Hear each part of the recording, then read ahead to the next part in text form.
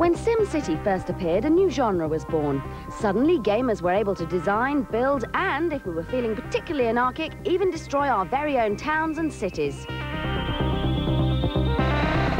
Now, after many, many months of development, SimCity 3000 has finally arrived. The largest, best-looking, most realistic sim title ever. Whether you choose to create your very own metropolis or play around with one of the many different pre-designed cities, the first thing you'll notice are the amazingly detailed graphics.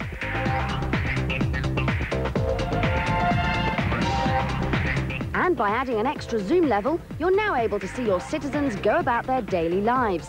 Whether they're catching a bus, driving out of town or heading for the hospital, you could spend hours simply watching your city come to life However, the game's creators knew that merely observing your people wouldn't be enough.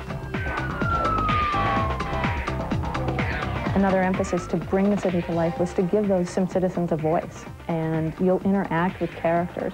They're going to come to your office. They're going to ask for certain things to uh, make their lives better or react to actions that you've taken within your city and give you feedback about what's the state of your city, what your decisions are doing, to their lifestyle, um, things that they want to have or things that they feel are bad decisions on your part. To keep your citizens happy, you have the power to build just about anything you want, from satellite dishes to underground subways. You can also design your very own buildings and even construct one of several real landmarks, such as Big Ben and even the Great Pyramids.